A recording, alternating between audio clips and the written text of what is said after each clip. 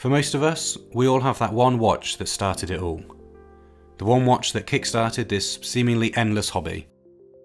Traditionally, these watches are more affordable than some of our grails we share, but one thing remains universal. These pieces are always remembered as number one, the first watch. Although there are so many watches that can be chosen as a starting point, one Seiko specifically seems to crop up again and again as the one many people own and treasure as being the beginning. Seiko is a very popular choice for people's first watches, and although it wasn't my first watch, that spot is a reserve for a watch I had when I was about 7, the Seiko SARB 033 was my first mechanical watch. This watch here, the Seiko 5 SNKL23, is infamous at the sub £100 mark. So before we take a look at this little Seiko 5, we should probably start with the price. You can pick one of these 5s up for around £80 brand new. I'd recommend keeping that in mind as we run through this watch's stats.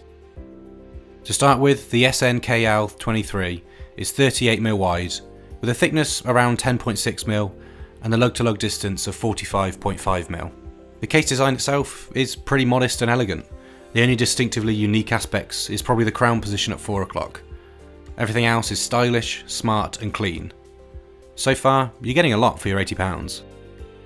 Flipping the watch over, we see the Seiko in-house caliber 7S26, which sits in an almost endless amount of Seiko divers, most notably the SKX, which is priced around the £200 mark. Oh, and when we say we see, we can see it through the display caseback, another feature on this £80 watch. Sure, it doesn't have hacking or hand winding, but I'm not sure how much of a deal breaker this is for something that costs less than most official straps from Swiss giants. Back to the front of the watch, we see alpha hands with touches of lume, a day and date function, and a black on pinstripe tuxedo style dial. Design wise, this is a hard watch to fault. It's not offensive or out there in any way, with the most abstract feature being the crown at 4 and that dial change up. Everything else is modest and executed well. So, how does this affordable Seiko wear on the wrist? Well, this is a very classy looking watch on the wrist. Much like the SARB or pieces from the Grand Seiko lineup, its versatility is its selling point.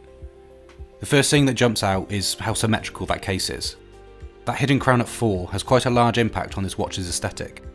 It's such a compact, tidy package as well, that genuinely punches well above its price point. When you consider this as an entry level watch, with pretty attractive looks, solid stats, a respectable size, and is made from a well known and respected brand, it's hard to knock points off here. The lug width on the SNKL23 comes in at 18mm, which traditionally could be a little bit tricky, however in this case it has two positives. Firstly, 18mm on a 38mm wide watch is a great transition to keep the footprint of that watch down, contributing to the overall package of the watch. And secondly, our recently growing range of 18mm straps can really transform this watch. Let's take a look at a few now. First up is a classic style of leather for the Geckota range.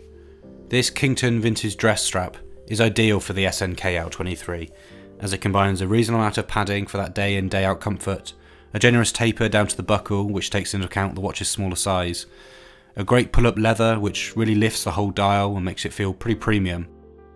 And finally we see quick release spring bars, which if you're looking at this watch as probably being one of your first, this is an ideal feature.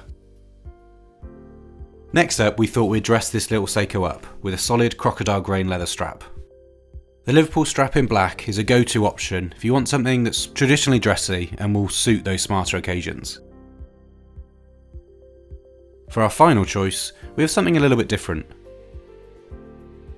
Here we've gone for the classic Milanese mesh strap to really make the watch pop on the wrist.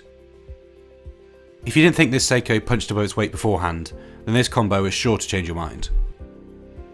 So, what are my final thoughts on this Seiko?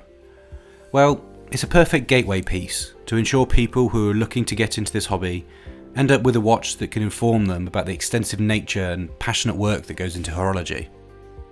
If you're starting to get interested in watches and you're looking for your first purchase, this one here packs the right amount of punch, has a decent amount of features at a fantastic price point, and will look great while it's doing it. You'll also get a respectable nod from the rest of the community. Thanks for watching our look at the SNKL23. Find out more in the description below. We'll also be comparing this watch to a lot more expensive offerings from Seiko in the future, so keep an eye on the channel for those videos. We also have a lot more reviews of watches planned for the rest of the year. So, once again, stay tuned to the channel for a lot more of those in the coming weeks.